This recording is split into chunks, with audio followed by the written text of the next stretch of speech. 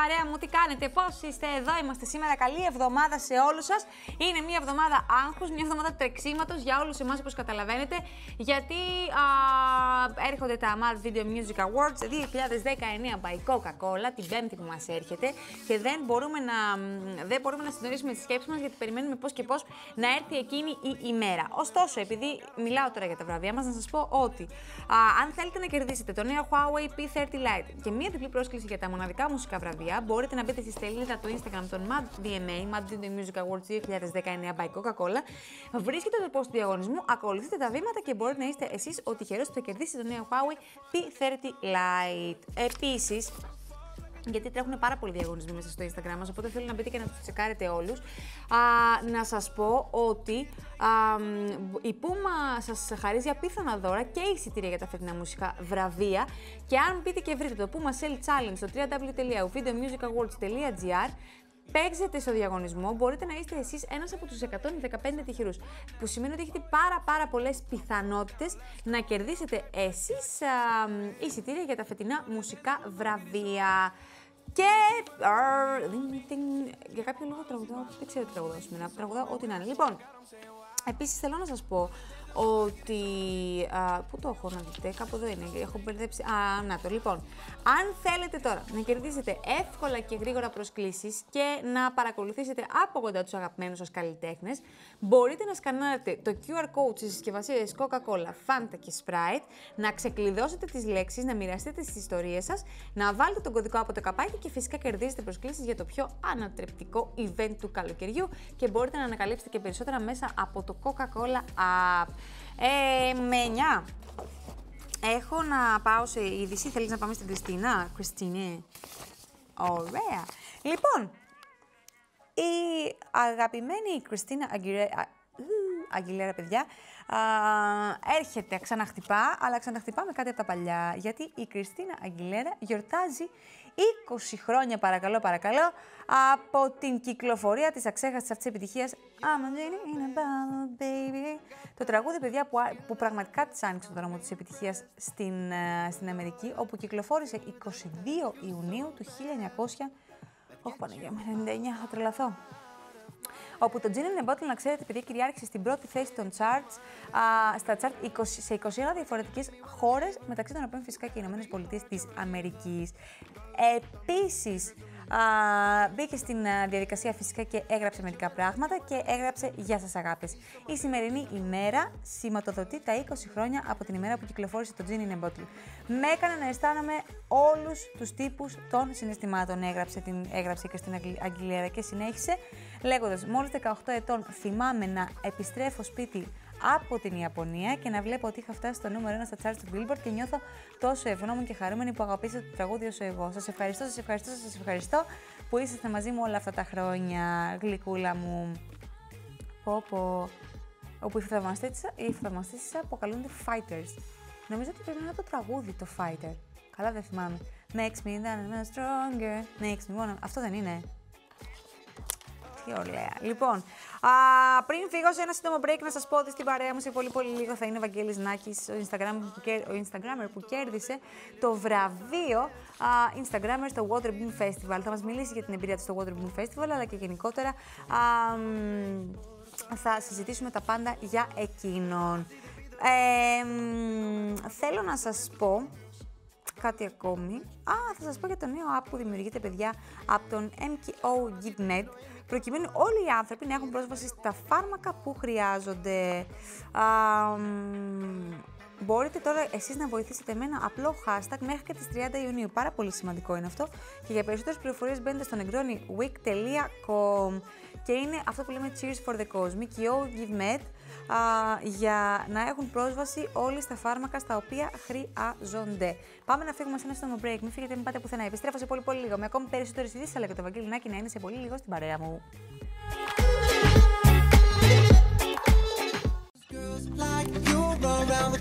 Εδώ είμαστε λοιπόν, επιστρέψαμε και έχουμε πολύ πολύ πολύ πολύ υλικό. Λοιπόν, αρχικά ε, Σας παίρνω από τα μούτρα, το ξέρω, αλλά το κάνω για να προλάβω να πω όλα αυτά που θέλω, για να προλάβω να υποδεχτώ το Ευαγγέλη Νάκη στην παρέα μου.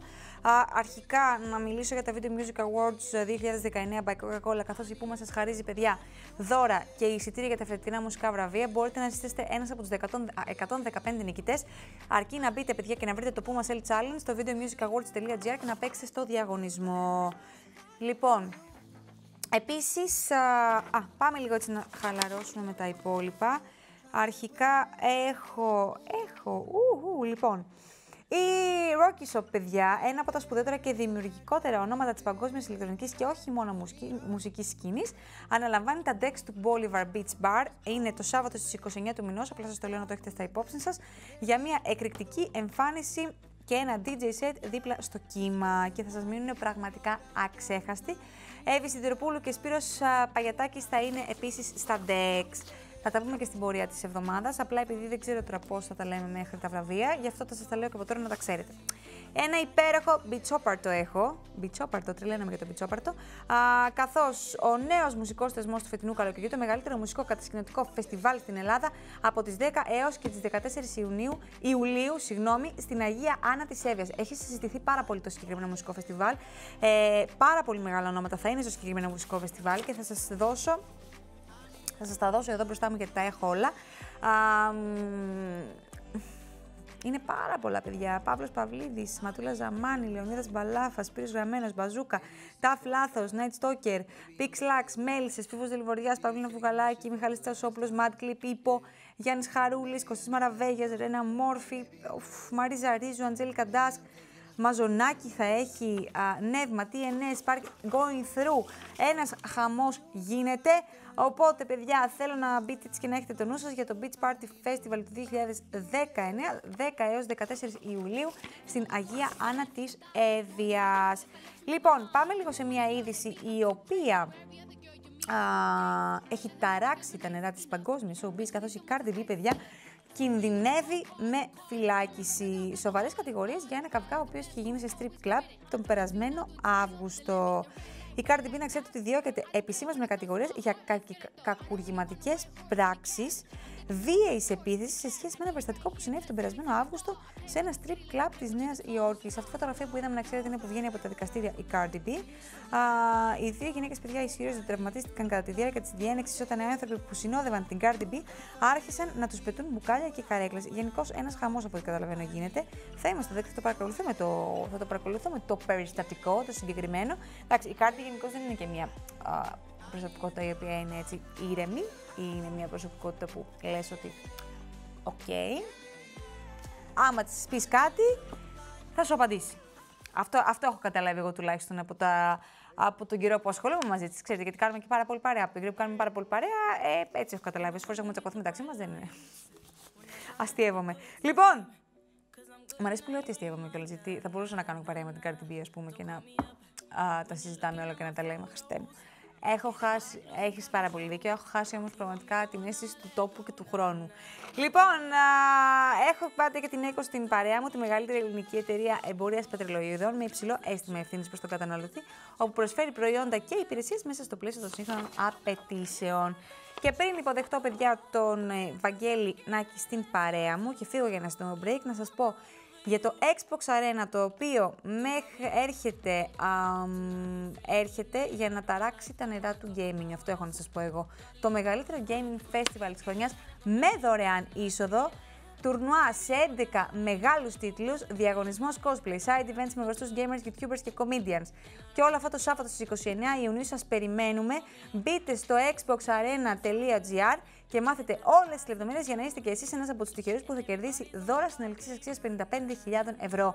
Θα έχουμε και live το Μιχάλη Σταβέντο, θα είμαστε και εγώ και η Ελένη και όλα αυτά φυσικά στο Gazi Music Hall το Σάββατο 29 Ιουνίου. Ένα σύντομο break, επιστρέφω σε πολύ πολύ λίγο με το Βαγγέλη Νάκη στην παρέα μου. Εδώ είμαστε λοιπόν, έχουμε επιστρέψει και όπως σας είπα και πριν από λίγο, στην ε, παρέα μου θα έχω τον, τον, τον με κεφαλαία, τον Instagrammer. Είναι ο Νάκης ή αλλιώς Βαγγέλης Νάκης ε, ή Νάκης98 που είσαι στο, στο Instagram. Λοιπόν, καλησπέρα. Καλησπέρα. Έχεις έρθει νομίζω κατευθείαν, δεν σε βρεμένο, είσαι σε καλή φάση. Είμαι σε καλή φάση αυτή τη στιγμή. Είναι τελείωσε το Waterbeam Festival. Πώς πήγε, πήγατε πάρα πολύ καλά. Πήγε είδα. πάρα πολύ καλά, αλλά αρχικά να πω ένα τεράστιο ευχαριστώ που μου δίνει την τιμή και είμαι σήμερα εδώ πέρα μαζί σας. Καλά, εμείς ευχαριστούμε πάρα πολύ που δέχτηκες να είσαι εδώ σήμερα μαζί μας. Αυτό είναι το σημαντικό. Το Waterboom, ναι, πήγε πάρα πολύ καλά. Γενικότερα πήγε νομίζω καλύτερα από ό,τι περίμενε ο καθένας. Είχε πάρα πολύ κόσμο. Πάρα πολύ κόσμο. Διάβασα 25.000 άτομα, κάτι Ναι. τέτοιο. Πάρα πολύ 25.000. κόσμο. Ε, ακριβής αριθμός νομίζω δεν μπορούμε να ξέρουμε. Αλλά ήταν πάρα μα πάρα πολλοί κόσμος. Το κάνει και ένας σε πολύ- σε ένα πολύ όμορφο σημείο. Ισχύει. Ήταν στο, στο ΑΚΑ, δε- ναι, στο Ναι, ΑΚΑ ήταν ήταν. κάτω από την αψίδα του Καλτράβα. Φανταστικά. Όπου δηλαδή θα μπορούσα, ήταν πολύ μεγάλος ο χώρος και θεωρώ ότι γενικά ήταν μια πολύ όμορφη εμπειρία. Εσένα η εμπειρία σου που ανέβηκε πάνω και πήρες και το βραβείο σου, θέλεις να μου τη μοιραστείς λίγο μαζί μου αυτή; Ναι. Ε, Ήταν ε, νομίζω η πιο ξεχωριστή εμπειρία που έχω βιώσει μέχρι σήμερα. Ναι. Να πω την αλήθεια ότι τα έζησα όλα λίγο εκείνη τη στιγμή. Και ντράπηκα και φοβήθηκα και δίστασα και όλα. Γιατί είναι πολύ διαφορετικό να το λες από το προφίλ σου στο Instagram, δηλαδή να κάνεις ένα story και να μιλάς στον κόσμο. Είναι πολύ διαφορετικό να ανεβαίνεις σε μια σκηνή και να βλέπεις τόσο πολύ κόσμο. Ε, είχες, είχες αντιληφθεί τον κόσμο που έχει από κάτω; Όχι. Όχι, ε. Δεν είχα ανέβει κάπου για να δω το πόσος κόσμος είναι, επειδή είχαμε μείνει εμείς πίσω στα backstage. Ναι. Απλά έβλεπα μπροστά. Ανέβαινα και λίγο στις ξεδρούλε να δω, αλλά δεν είχα αντιληφθεί τον τόσο μεγάλο όγκο του κόσμου. Ε, θέλετε να δούμε λίγο το βίντεο για να καταλάβετε και εσείς τι εννοούμε; Ωραία, για βάλτε το λίγο να, να καταλάβει και ο κόσμος.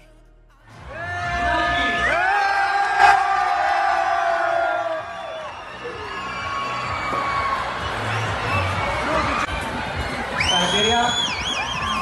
Κύριε πραγματικά λοιπόν.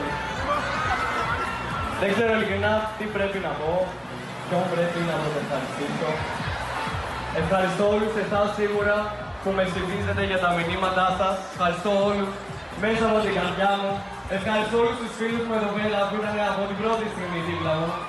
Και μία ευχή για όλους εσάς. Να το κάνετε αληθινό και ό,τι είναι αυτό που σας κάνει να μην κοιμάστε τα βράδια, να το πραγματοποιήσετε. Ευχαριστώ πολύ. Τι όμορφη στιγμή είναι αυτή. Ναι, ήταν η πιο όμορφη στιγμή νομίζω που έχω ζήσει μέχρι τώρα, μέχρι σε αυτά τα 20 χρόνια. Είναι, είσαι και, είσαι και μικρός. είσαι και 20 χρόνων μόλις. Γενικά ήταν κάτι πολύ γρήγορο για μένα όλο αυτό. Εσύ, Βαγγέλη, θέλεις να σε πάω λίγο στην αρχή, να σε πάω λίγο πίσω, γιατί για Ναι. να φτάσεις μέχρι εδώ σημαίνει ότι έχεις, έχεις, ε, έχεις διαγράψει μια πορεία μέχρι στιγμής, έτσι. Α, αυτό είναι και το βραβείο σου, σωστά; Ναι. Τι ωραίο που είναι. Πω, πω, φανταστικά. Άκου τώρα να δεις. Λοιπόν, έχεις, ε, για να φτάσεις λοιπόν να πάρεις το βραβείο αυτό που είδαμε τώρα στη φωτογραφία, εσύ ουσιαστικά ξεκίνησες να ασχολείσαι με το Instagram ή είχες, είχες ιδέα, είχες μεθοδεύσεις καθόλου αυτό που ήθελες, συγγνώμη που χτύπησα το μικρόφωνο, αυτό που ήθελες να κάνεις ή σου βγήκε στην πορεία, βγήκε αβίαστα όλο αυτό; Νομίζω ότι βγήκε αβίαστα. Δεν ήμουν σίγουρος στην αρχή το τι ήθελα να κάνω. Από, από το παρελθόν μου γενικότερα, ήθελα απλά να κάνω κάτι ας πούμε διαφορετικό για να μπορέσω. Δεν ξέρω πώς να το πω πιο όμορφα, να μπορέσω γενικότερα να δείξω στον άλλον που δεν πίστεψε σε μένα. Γιατί ε, λόγω του ύψους υπήρχε πάντα η διαφορά στο ότι υπήρχε πάντα τόσο μικρός ρατσισμός που στη μικρή διαφορά, στην εμφανιστική διαφορά που έχουν οι άνθρωποι, ότι δεν καταφέρουν πολλά. Μιας και επειδή διαφέρουν εξωτερικά, σημαίνει ότι διαφέρουν και στη ζωή τους. Α, μάλιστα. Οπότε είχα κατάλαβα. βάλει με έναν στόχο από μικρός να, κάνω, να αποδείξω σε όλους αυτούς ότι κάτι τέτοιο δεν ισχύει και όχι τόσο για εμένα, αλλά και για όλους τους υπόλοιπους. Γιατί είχα τύχει να έχω και φίλους οι οποίοι είχαν κάποια παραπάνω κιλά, φίλους μου οι οποίοι μπορεί να ήταν εμφανισιακά διαφορετικοί από την πλειοψηφία, Άρα, εσύ ουσιαστικά ήθελες να δείξεις από την πλευρά αυτού που. Ε, που κατέκρινε. Ακριβώς. Αυτού που τον κατέκριναν βασικά. Ναι. Και να μπει στη διαδικασία και να τους αποδείξεις ότι. Ότι μπορεί να καταφέρεις και μπορείς κάτι να... άλλο. Ακριβώς. Δεν ήμουν σίγουρος ποτέ ότι θα φτάσω σε ένα σημείο να ανέβω ποτέ στο ΑΚΑ. Αυτή είναι η αλήθεια. Γιατί πάντα πήγαινα και έβλεπα, ας πούμε, σαν θεατής. Δεν πήρε να φτάσω μια τέτοια στιγμή. Το Instagram λοιπόν, εγώ το ξεκίνησα από όσο θυμάμαι ένα χρόνο πριν. Σε Αλήθεια. αυτό το σημείο, ναι. Ξεκίνησα στην αρχή, έβλεπα ένα παιδί που ανέβαζε φωτογραφίες σαν έτσι Instagram, δηλαδή ανέβαζε ε, εταιρείες και τις προωθούσε μέσα από το προφίλ του. Μου άρεσε αυτό, αλλά και εκεί έπεσαν πάλι άνθρωποι που σου λέγανε λόγω του ύψους ότι ρε φίλε, ούτε τα ρούχα δεν σου κάνουνε. Παρ' όλα αυτά υπήρχε ένα σημείο στο οποίο σταμάτησα να ασχολούμαι γιατί όντως κάποια βέβαια. στιγμή βαρέθηκα. Δηλαδή, όντως πίστεψα ότι όντως θα κάνω κάτι άλλο. Θέλω ότι δεν είναι απλά όλοι για όλα.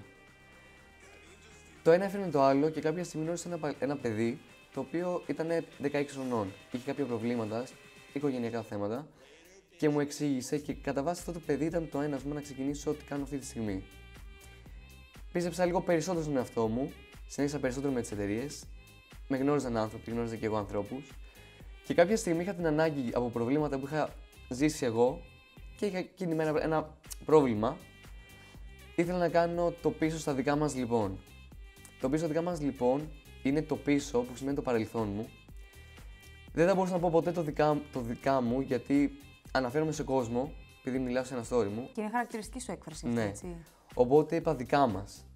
Με το σκεπτικό ότι είναι πίσω το παρελθόν και δικά μας για κάτι που πέρασα εγώ στο παρελθόν και πολύ πιθανόν κάποιο παιδί να το περνάει αυτή τη στιγμη Οπότε έτσι λοιπόν βγήκε το πίσω στα δικά μας λοιπόν και από εκεί και πέρα ξεκίνησα ένα θέμα που ήθελα να λύσω. Για το πρώτο θέμα που μίλησα ήταν γενικότερα αυτό που βίωνα από το παρελθόν, δηλαδή ε, έναν ρατσισμό σχετικά με την εξωτερική εμφάνιση. Αυτό ήταν το, πρω- το πρώτο πίσω δικά μας λοιπόν. Και έδωσα απλά το παράδειγμα σχετικά για το ύψος το δικό μου και γενικά για, το, για όλα τα υπόλοιπα παιδιά που μπορεί να είναι διαφορετικά. Είτε αυτό διαφορετικό μπορεί να έρχεται από την σεξουαλική επιθυμία που έχει το κάθε παιδί, Ε, βέβαια. είτε για τα κιλά του, είτε για το ύψος του, είτε ή γενικότερα. Και ήθελα απλά να πω τη γνώμη μου. Ο κόσμος με εκτίμησε εκείνη τη στιγμή και μετά μου ζήταγα να κάνω και για Και άλλα άλλα θέματα. Και γενικότερα στο τέλος πάντα ξε... τελείωνα με την έκφραση το κάτω αληθινό. Όπως το έκανα και εγώ στις 22 Ιουνίου του 2019 στο Water Moon Festival. Τι ωραία που τα λες. Ε, πω, πω, πρέπει να βγω και σε ένα break. Πόσο γρήγορα περνάει ο χρόνος. Παιδιά, μην φύγετε, μην πάτε πουθενά. Πάμε σε ένα σύντομο break. Επιστρέφουμε με τον Βαγγέλη στην παρέα μου. Έρωτα και παροδία πρέπει να ακούσουμε. Οκ, επιστρέφω λοιπόν α, σε πολύ πολύ λίγο. Με το Βαγγέλη εδώ θα είναι στην παρέα μου. Εσείς μείνετε συντονισμένοι γιατί έχουμε καλά πράγματα για να συζητήσουμε. Έχω πολλά να τον ρωτήσω.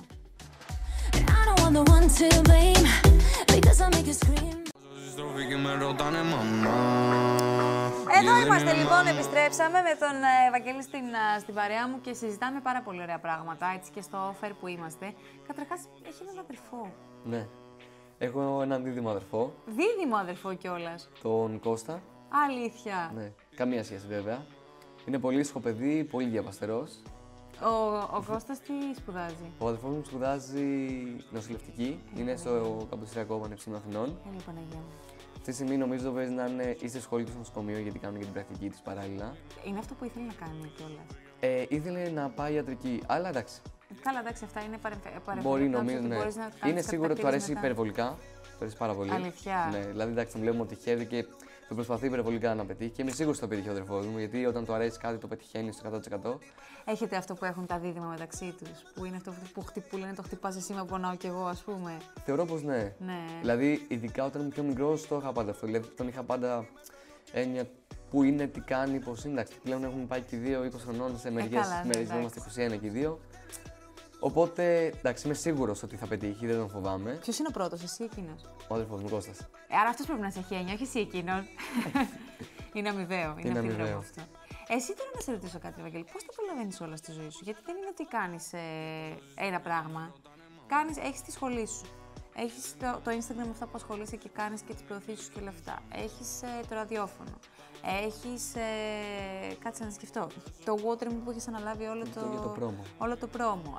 Ε, τώρα που τρέχετε ένα άλλο πρόμο για την ΙΟ, σωστά; Τώρα τρέχουμε το πρόμο για το Use the Project που είναι και αυτό μια πολύ μεγάλη διοργάνωση. Τι είναι αυτό ακριβώς, θα μας πεις; Είναι, όπως το, όπως το, παρ- όπως το λένε κιόλας, είναι ο πιο hot προορισμός του καλοκαιριού. Είναι ιδανικό για τους νέους που τελείωσαν το σχολείο ε, και ψάχνουν ιδανικό προορισμό γιατί μπορούν να ζήσουν το όνειρο, όπως λέτε, ο Use the Project.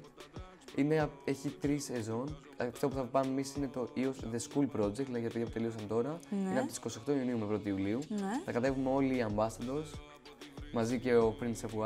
Αχ, είναι τι ένα ωραία. πάρα πολύ καλό παιδί και ένας πάρα πολύ καλός μου φίλος. Είναι πολύ καλό παιδί, ισχύει. Θα τραγουδήσει κιόλας εκεί πέρα. Ω, χαμός. Αλλά γενικότερα και τα παιδιά που διοργανώνουν το Use the Project είναι νέα παιδιά με όρεξη και νομίζω αυτό είναι πιο σημαντικό. Έχεις ξαναπάει στην Ίο. Έχω ξαναπάει το 18. Α, εντάξει. οκ. Πότε ξαναπάω όμως και τώρα; Άρα ξέρεις τι...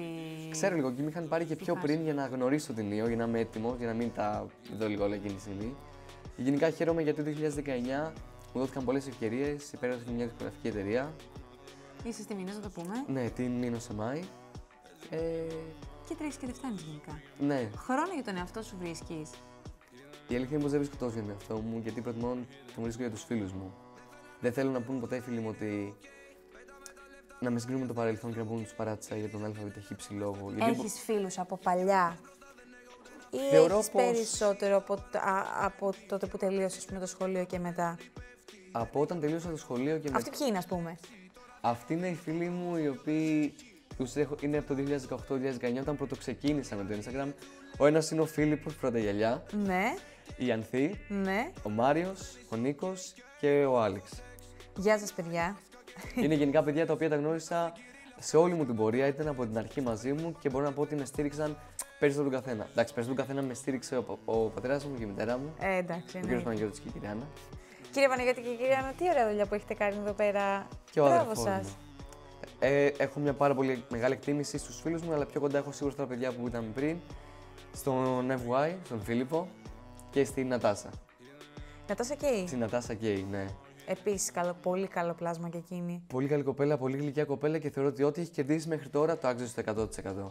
Εντάξει, ε, είστε μια γενιά η οποία έχετε μπει σε αυτή τη διαδικασία, γιατί εγώ αυτό καταλαβαίνω τώρα. Να την Νατάσα κιόλα. Είστε μια γενιά η οποία έχετε μπει σε αυτή τη διαδικασία και επειδή το Instagram πλέον λειτουργεί σαν δουλειά για πάρα πολύ κόσμο και έπρεπε να μπείτε στη διαδικασία και εσείς να δουλέψετε πάνω σε αυτό από πολύ πολύ μικρή. Γιατί δεν είναι. Παλιότερα, ίσως ξέρεις τα πιο παλιά χρόνια, το να δουλέψεις ξεκινούσες στο να πας να είσαι κάπου, ας πούμε, σερβιτόρο. Τώρα είναι αυτό το κομμάτι περισσότερο, το, το κομμάτι του Instagram. Οπότε και εκεί ε, μπαίνετε από, από πολύ μικρή στο- στο λούκι αυτό, ας πούμε. Ναι, η αλήθεια είναι πως έχω, έχω πάει και σερβιτόρο, έχω κάνει διάφορες δουλειές. Μπράβο. Ε, θεωρώ ότι κάθε δουλειά είναι εξίσου καλή. Δεν θεωρώ ότι κάποια δουλειά είναι ντροπή. Καμία Ίσα-ίσα, δουλειά δεν καμία είναι δουλειά ντροπή. δεν είναι ντροπή. Ίσα ίσα. Θεωρώ ότι κάθε δουλειά σου είναι και μια εμπειρία. Ε, βέβαια. Αν δεν είμαι σερβιτόρος, δεν θα ξέρω ότι ο καθένας μπορεί να μου πει το μακρύ και το κοντό του σχετικά για τον καφέ, γιατί ε, από μέτρια έγινε λίγο πιο Εμένα θα μου γλυκός. πεις που ήμουν 10 χρόνια. Άστο, μην το συζητάς καθόλου. Δεν είναι Απλά μόνο. θεωρώ ότι μέσα από το Instagram δενόμαστε περισσότερο. Εγώ θεωρώ ότι δηλαδή δέθηκα με τον κοινό μου περισσότερο μέσα από τις εμπειρίες. Ε, βέβαια. Δηλαδή, μέσα από το πίσω δικά μας λοιπόν θεωρώ ότι αναδείχτηκα σαν Instagrammer. Δεν θεωρώ ότι ένας Instagram. Βασικά, να το πω αλλιώς. Κάθε παιδί το οποίο έχει έναν μεγάλο αριθμό ακολούθων στο Instagram, θεωρώ ότι έχει μια πολύ μεγάλη ευθύνη. Ε, βέβαια. Ανεξαρτήτου αν Δεν το έχεις βλέπουν πολύ βέβαια αυτό. 10, 20, 30, 40, εγώ μπορώ τώρα να έχω 50.000, αλλά την ίδια ευθύνη που έχω τώρα την είχα και στους 10.000. Όταν ανοίγω το στόμα μου και μιλάω για ένα θέμα, θεωρώ ότι θα πρέπει να είμαι πάρα πολύ προσεκτικός και να μην θίξω πράγματα, γιατί το παιδί που θα με ακούσει, καλός κακός και εμένα και εσένα και πολλά παιδιά, μας ακολουθούν παιδιά τα οποία βρίσκονται σε μια κρίσιμη ηλικία και αυτή της εφηβείας. Αν εμάς μας θεωρούν κατά μια βάση είδωλα σε εισαγωγικά για αυτούς, που σίγουρα καλό να μην μας έχουν και είδωλα, γιατί μπορεί να κάνουμε και εμείς πολλά λάθη και δεν θα θέλουν να πάρουν τα δικά μας τα λάθη. Εγώ τουλάχιστον προσπαθώ να είμαι όσο πιο αντικειμενικός μπορώ σε ό,τι λέω. Και προσπαθώ αυτό που να πω να είναι πιο σωστό και σίγουρα να το έχω ψάξει λίγο πιο πριν. Πιο πολύ σε ψυχολογικούς παράγοντες. Θέλω αυτό που θα πω να είναι σωστό.